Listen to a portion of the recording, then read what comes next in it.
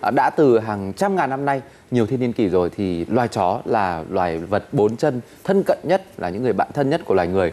À, có thể nói rằng là tiến hóa từ loài chó sói thì chúng à, à, ngày nay không chỉ giúp cho con người có thể à, săn bắt rồi là bảo vệ à, à, gia đình rồi là à, nhà cửa mà thậm chí chúng còn trở thành những thành viên vô cùng thân thiết không thể thay thế và rất đáng yêu của các gia đình. Vâng, nếu mà nói về à, pet nhất là cúm đấy ạ thì tôi với Đức Bảo hai người là có thể nói từ sáng đến tối. Ừ. bởi vì nhà thì đều nuôi những chú cún và đều rất yêu loài vật này. Ví dụ như nhà anh Đức Bảo giới thiệu với quý vị khán giả nhà anh thì ở gần Hồ Tây có nuôi hai con cún một con tên là bánh một con tên là tôm. Bánh tôm Hồ Tây đấy ạ. Bánh thì nuôi được hơn 10 năm rồi đúng không? Dạ còn vâng. tôm thì khoảng ba bốn năm gì đấy đúng Vâng, không đúng ạ. thế thì hỏi Đức Bảo nhá là hai con cún nhà bạn là có cái có một cái khả năng đặc biệt gì mà có thể gọi là mà bạn thấy nó khác biệt so với những chú cún khác không?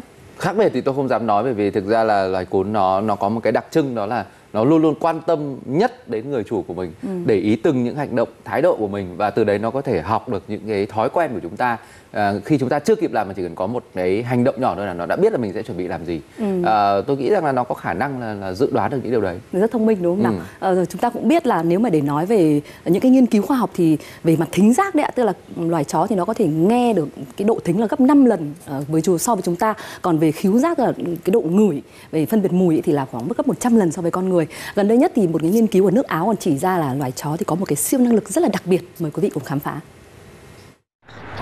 Được mệnh danh là người bạn tốt nhất của con người, chó đã ở bên con người hàng ngàn năm. Nhưng chúng có thực sự hiểu được chúng ta hay không?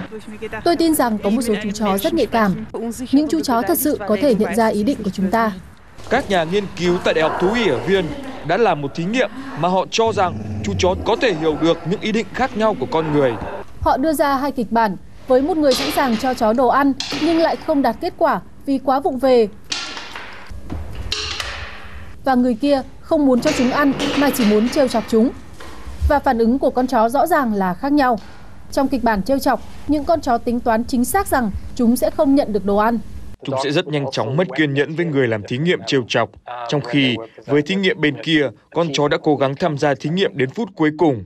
Các thí nghiệm này đã cung cấp bằng chứng chắc chắn rằng chó phân biệt được bản chất các hành động của con người.